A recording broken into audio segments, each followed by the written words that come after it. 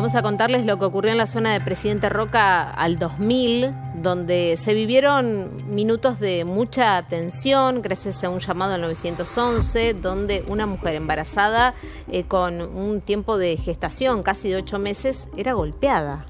Gritaba, los vecinos la escucharon y llamaron al 911. Se inició una persecución. Miren las imágenes. Es un caso dramático. Porque a la violencia de género, a los golpes de este hombre a la mujer, se le suma el agravante de que esa mujer estaba a punto de dar a luz porque ya cursaba un embarazo avanzado. Este es el momento que llega la policía al lugar. Arriba estamos, está abierta la puerta, estamos arriba. Revista que no podemos. 37 con la otra unidad. Tranquilo, las ¡Ey, demás unidades. ¡Son policiales! ¡Soy hijo de policía federal! Escúchame. ¡Soy hijo de policía Situación federal! controlada. No te das Situación controlada acá en el lugar. Recibido 37.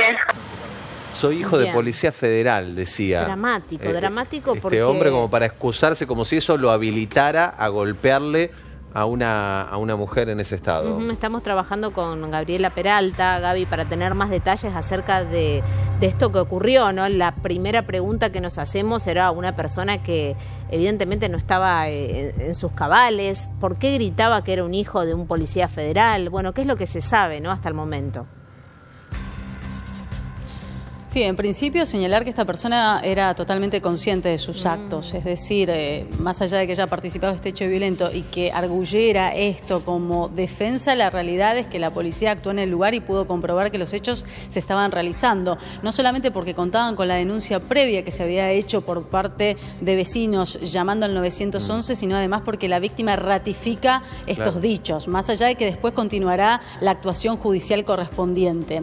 Y este es un punto clave, porque este hombre señala esto casi a modo de defensa o en principio quizás para detener el accionar del personal policial y claramente se puede observar cómo no se modifica la actitud de los oficiales a cargo de este caso en el momento de la actuación. Esto no es un elemento a considerar, lo único que importa es la denuncia y queremos ser claros respecto a la información que vamos a brindar no solamente a víctimas de violencia, sino también a familiares de víctimas o cualquier persona que perciba que se está dando una situación de agresión. Y es por eso que nos encontramos junto a Vanessa Márquez del 911 y Carolina Atorresi, también eh, personal policial, para brindarnos detalles respecto al cambio que existió en cómo se actúa en estos casos particularmente. ¿Qué ocurre cuando lo que se denuncia es un caso de violencia de género?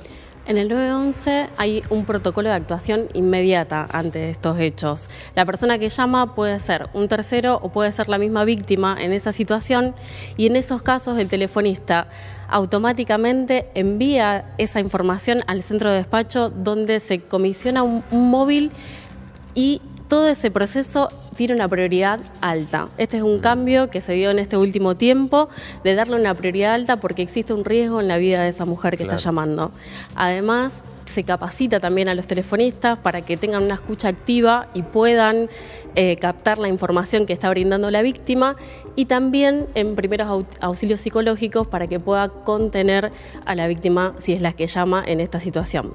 Claro, nosotros lo que percibimos incluso en este video es como hay una suerte de desesperación también por el parte del personal policial de llegar rápido al lugar y tiene que ver con esto, con esta idea de código rojo ante una situación similar. Te escuchaba Maxi que justamente asentías respecto a lo que decía Vanessa Márquez, ¿querés hacer alguna consulta?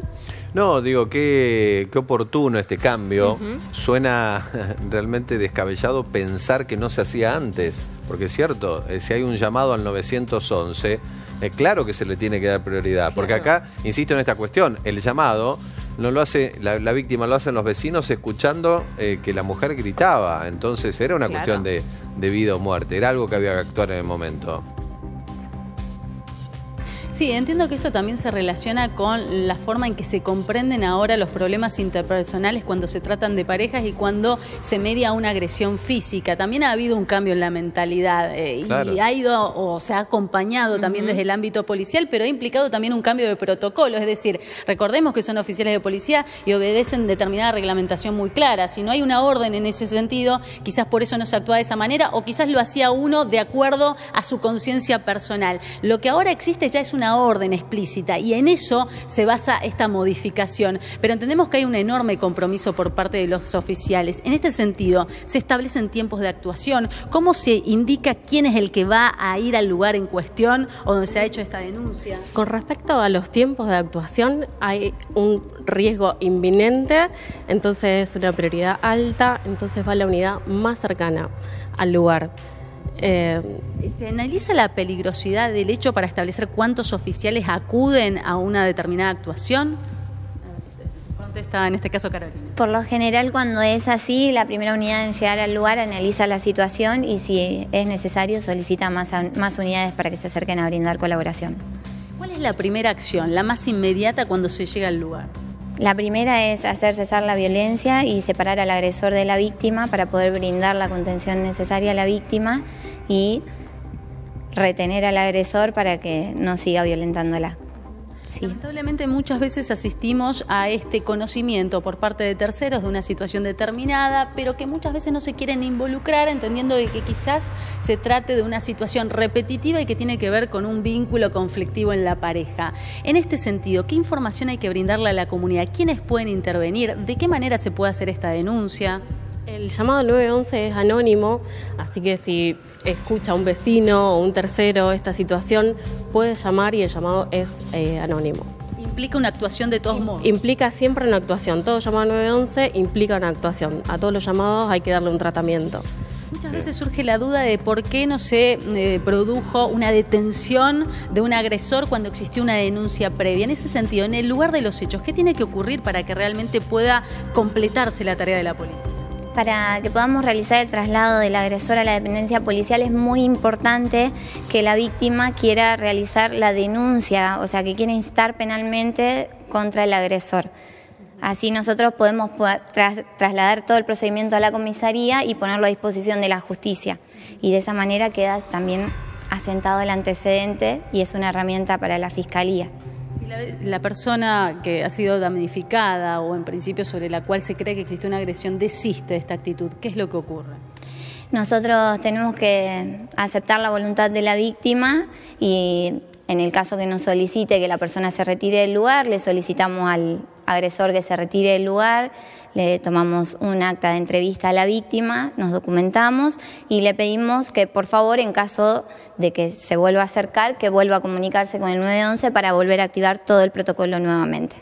Gracias. Hasta allí entonces la participación de Vanessa Márquez, de Carolina Torresi, brindando información detallada respecto a cómo actuar ante hechos de violencia, pero a tomar en cuenta este punto, mm. me parece también muy destacado. Si la denunciante en el momento no establece que realmente ocurrió esto, la policía lo único que puede hacer es retirar a la persona supuestamente agresora del lugar pero no mucho más. Por eso es tan importante también trabajar sobre la conciencia de la víctima para que realice la denuncia, para que esto quede asentado y realmente se pueda seguir trabajando en un entorno que puede llegar a ser Sin duda, que queda mucho camino por recorrer, pero ya el solo hecho de que enseguida haya un policía y en esa situación de violencia una tranquilidad y una defensa para, muchas mujeres que sufren violencia de género. 911, el número para llamar. Si uno escucha eh, situaciones de golpe, de gritos, eh, es importante tener en cuenta que, ese es el camino em, correcto o, o, el indicado para, para ayudar y colaborar. Gracias, Gaby. Hasta pronto.